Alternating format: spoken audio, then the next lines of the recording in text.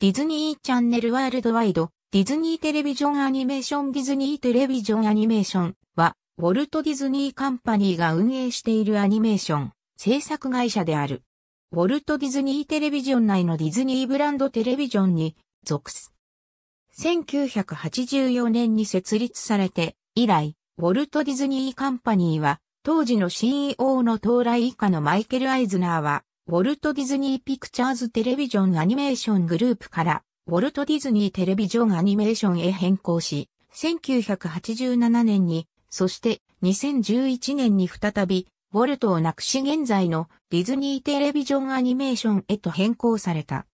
ウォルト・ディズニー・カンパニーは1950年にテレビ業界に初めて参入した。しかし、ディズニーのテレビへの拡大には一つの欠点があった。それがディズニー制作のオリジナルアニメーションが当時全くないということであった。